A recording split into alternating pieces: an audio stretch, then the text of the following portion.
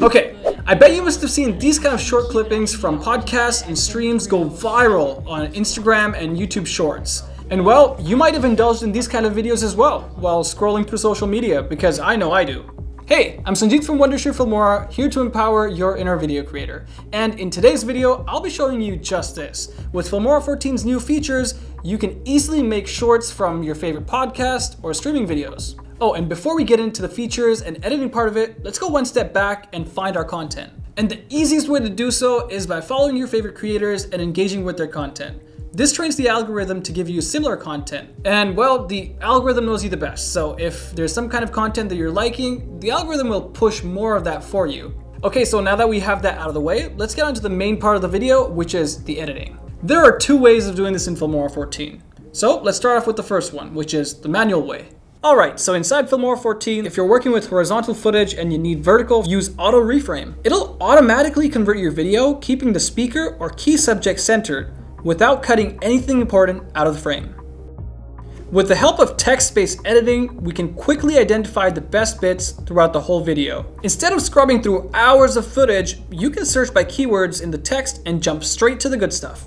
Once you've got that all set up and your timeline is looking good, you can use dynamic captions. Now, we've seen captions everywhere on social media. Captions are just really helpful to make your content more engaging and highlight the most important points and keep your audience focused. So, what did you do when you first started? Like, what was the first idea? The very first video, weirdly enough, I, I played this stupid game and some hacker like killed my base when I was 11, and so I uploaded it. And don't forget about sound. You can now create background music with the new Smart Background Music Generator. So, what did you do when you first started? Like, what was the first idea? The very first video, weirdly enough, I, I, played this stupid game and some hacker like killed my base when I was 11. With these tools and many more in Filmora, you can create these shorts easily. So, what are your thoughts on aliens? What? Do you think aliens edit their own videos and use AI? What, is this a podcast? I mean, I don't know. Maybe. Do you think aliens use Filmora? Maybe. Why uh, not? I mean, it's uh, aliens. I mean, Filmora can do this. That's pretty cool. And this. This is also pretty cool. Nice. I know, right? Now, if you want to speed things up, no, I'm, I didn't mean that kind of speed up, but to speed up your editing process, the new Smart Short Clips feature in Filmora 14 is a real game changer. It combines the power of AI and Filmora's features to make editing short clips super easy for you. So let's check it out.